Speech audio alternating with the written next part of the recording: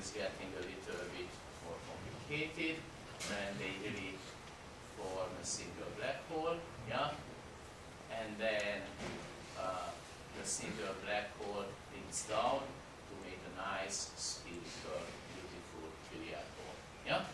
Why do we need this simulation? We need this simulation because we will match this simulation to the data, and I will show you how beautifully this numerical simulation matches the data what we had seen. It's amazing. Uh, but before I do that, let me show you something historical. This is the most important historical figure with the three people who will be the answer uh, to your question. Who is my bet for the Nobel Prize? My bet for the Nobel Prize uh, is uh, uh, great uh, scientist, Ron Drever, Kip Thorne, and Ray Weiss. Yeah? Ray is an amazing person.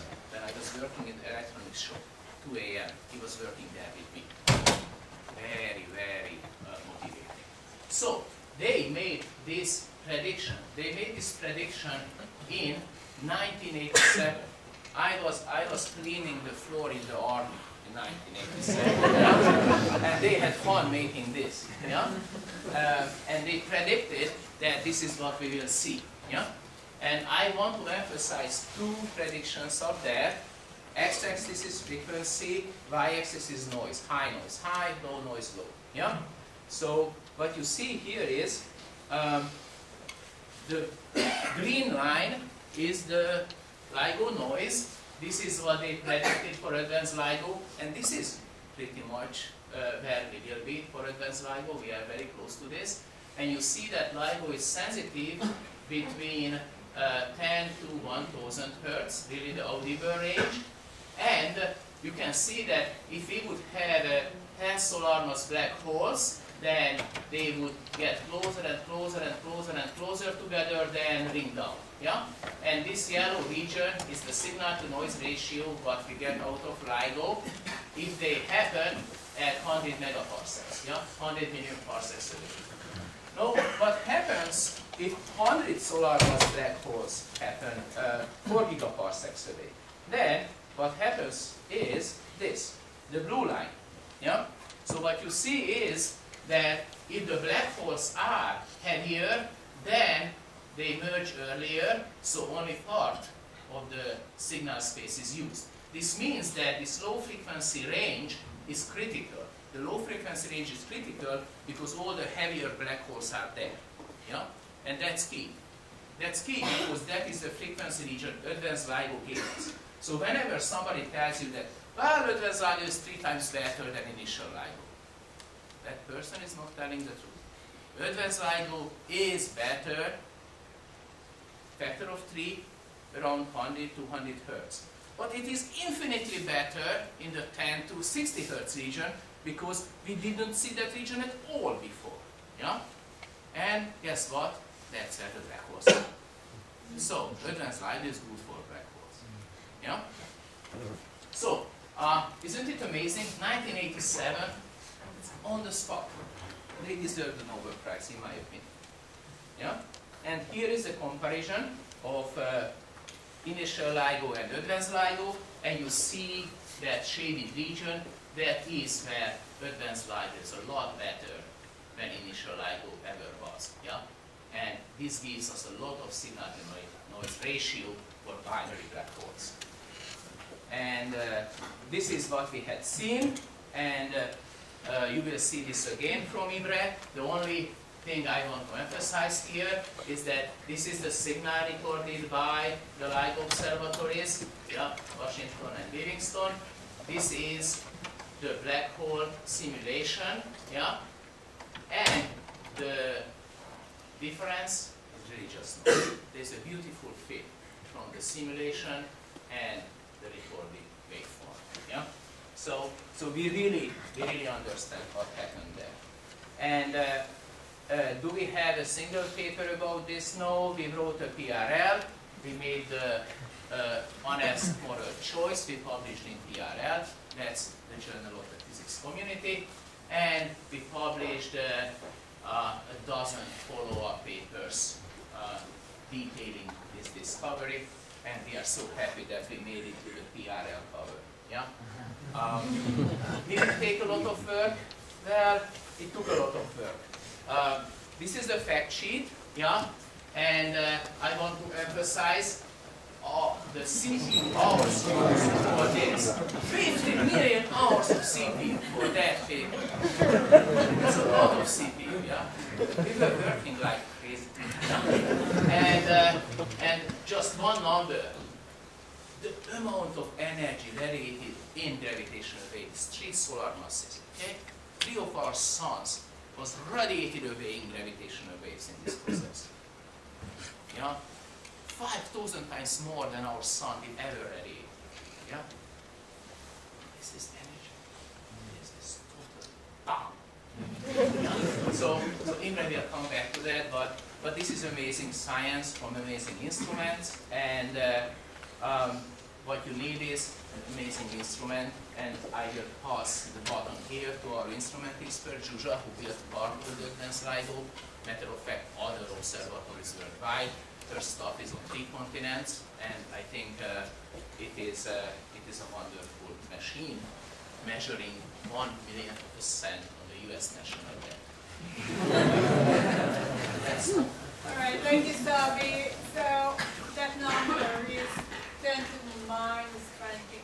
That's the string we are measuring. Okay, 10 to minus 21. How can you get an instrument and measure that? And really, we did measure that. I want to show you that 10 to minus 21 there. So right there, you guys see strain, 10 to minus 21. It's really up there, 10 to minus 21. We did measure that strain.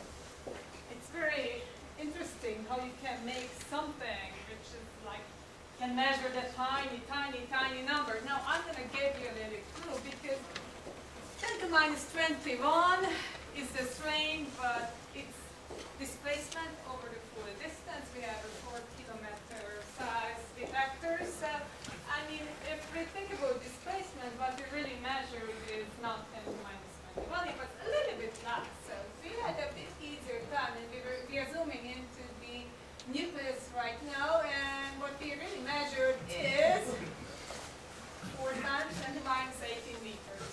All right? Tiny, okay? Um, how do we do that? How do we do that? So, uh, the trick is called interferometry, but there are more tricks to that uh, than just say interferometry can do that. Of course, this is a tool for measuring displacement, and it's a wonderful tool, but you have seen those names up there, and, and, and Ron Drever and, and, and Ray Weiss, both of them were instrumental to get the details. So what happens is when a gravitational wave comes by, uh, one of the arms of the interferometer compresses, the other is, uh, stretches, and what we are going to see is regular interferometry. We have a laser here, we have a field splitter, we have the uh, photodiode here, so we are taking the signal from here. So we actually do see an interferometric pattern there if we want to. Uh, we have a very nice, very good quality laser, more cleaner and everything. And there's there are a lot of details which are not on this picture. So what we do is we have TM00 mode. We are keeping this photodiode at indoor conditions. And we are taking the control signal from here to give this one of the end mirrors, basically on such a way that this is always in the condition. So that control signal is the gravitational wave data which we actually record. So what is needed beyond simple scales, 4 kilometer interferometry, that's not enough, obviously. I cannot convince you for that 4 times 10 to minus 18 meter displacement measurement. But one of the things we really needed, there's a lot of noise, right? Uh, a lot of seismic noise. Uh, we have to have every mirror suspended, seismically isolated. The seismic isolation and suspension, this is really a limit in our low frequency regions. It's incredibly important. Uh, and then we're using one more trick, which is very, very important, and that's where Ron and, and, and, and Ray comes into question. Uh, this was really a great idea. Let's build a cavity in the arm.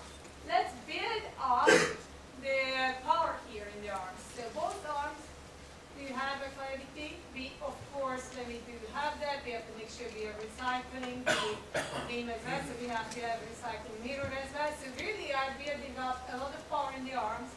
It has a thickness of a couple hundred, the arms. And then, what these arms are actually doing, the phase measurement. Because actually I said, yeah, okay, what we are measuring is its phase, but actually what we are measuring is a change in phase between the two arms uh, when the gravitational wave comes by and compresses or stretches one of the arms or the other. Okay? So this is what we are doing. Uh, this is Manhattan. I, we are not in New York, but you guys have an idea. I actually didn't measure this LIGO looking uh, figure there. That that's the size of the interferometer. It's really fun. You can go to the side and bicycle from the central station to the from the mid corner station to the end station and back. It's really fun. It's exercise. So it's not just like work there and bodysuit and so on. There's more to that. Okay. So this is what we measured. And some of you already had this one up. This is the sensitivity curve uh, during this run, the last O1 run during the event actually.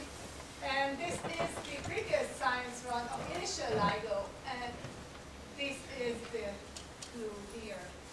This big change, and we are talking about orders of magnitude change in uh, sensitivity at those low frequencies. That allowed us to really make this detection this time. We have been advertising that what LIGO is going to be doing, and we were telling this is our range. I know we said 80 megaparsec. This was the range, and this is the range in binary neutron stars. And that's totally true for binary neutron stars, but when we are looking for the holes, we can see so much farther. This event was coming from 410 megaparsecs away. So, and we would have seen it. We would have claimed detection if we had, if it was coming from five that distance. This is really that amazing. All right. So this ability figure tells you the interferometer uh, uh, conditions when we were operating it for this last science run. So we only had 20 watt uh, ingoing uh, from our laser source. So gave about to 200. So we are going to have a lot more coming. We can really boost up the laser power, which means we are going to come more down in this frequency range, the higher frequency range. We will be much more sensitive. Okay We had only 10 kilowatts power in the arm. Okay, so what was needed uh, to get to this? Uh, first of all, we have had a much better seismic isolation. And this is, I keep telling you about the low frequency range, how important was. It was really important. Uh, we could not have done it without that. So there are external seismic isolation parts, and there are internal parts. There are a lot of acquisition seismometers, uh, everything which are internal, they have to be vacuum compatible. And it is also very important that uh, what we are doing, that we have all these additional seismometers which give a control signal. So what we have right now is an active seismic isolation system. It's a bit different than some of the other interferometers which are being built right now, like the for a passive system.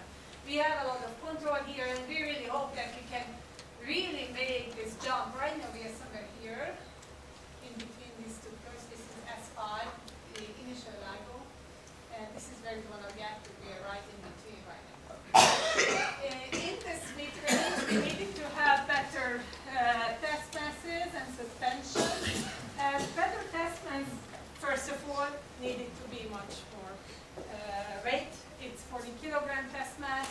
We really have to work down on those thermal noise problems, so we have to have very good coating on that. And the other thing was the suspension, which was a big change compared to initial LIGO. We have a quadruple suspension, so there are four ranges, uh, four times the isolations from the suspension. This is very important, we suspend those mirrors. And then there is the higher laser power, which I just mentioned. We are mm-hmm. really operating already much higher laser power and have much more power in the arms. So that's the new laser. So of course we had to build this uh, interferometer and put that together. It's of course not one group, not two group, it's the full uh, collaboration. Uh, also our chance to do uh, very important work at the site. Uh, this is, for example, on the left side is, is actually our student Alexa, who switched on LIGO, so she with some of the, uh, um, I think this was uh, done uh, when she was putting together the, the locking system for LIGO. She- There's a green laser port to that, so uh, rest of the figures is just, this is what you can imagine, how is it to work at the site. If you, you really have to get into this one and just enjoy your work, okay? Um, now, this is Alexa again. I want to show you the only thing which did not change compared to initial LIGO. That's the vacuum system. This is the probably the most expensive nothing on earth. This is a 10 uh, for vacuum system L-shaped, four kilometer size. Okay, this is huge. It's amazing. That's the only thing which did not change. So we had these two guys working there very, uh, very hard, and was the only one. We have another recent graduate, Max Factourovich, who did something interesting at LIGO. She, he worked on something which is called squeezing. Uh, so what we did, we introduced some squeeze light into the interferometers. We actually increased the, the, uh, the sensitivity at the high frequency region. I can tell you more about that if you guys are asking questions. But his very important is coming very important because we are, have already plans what to do beyond current advanced LIGO and beyond after we reach this design sensitivity. We can definitely gain a lot in the sensitivity in this region and know there are plans for that, how to do it, gain sensitivity in this region without losing it in this region. That's called frequency uh, dependent squeezing. So that's something which is ongoing and important at the collaboration right now. So Max did the control system for the squeezer. It's a very important contribution. All right, so Sabi was telling you that I will tell you a bit about those time scales and why, what's the difference between LIGO and Hanford and what's the time difference which we observed, why is it so important. Uh,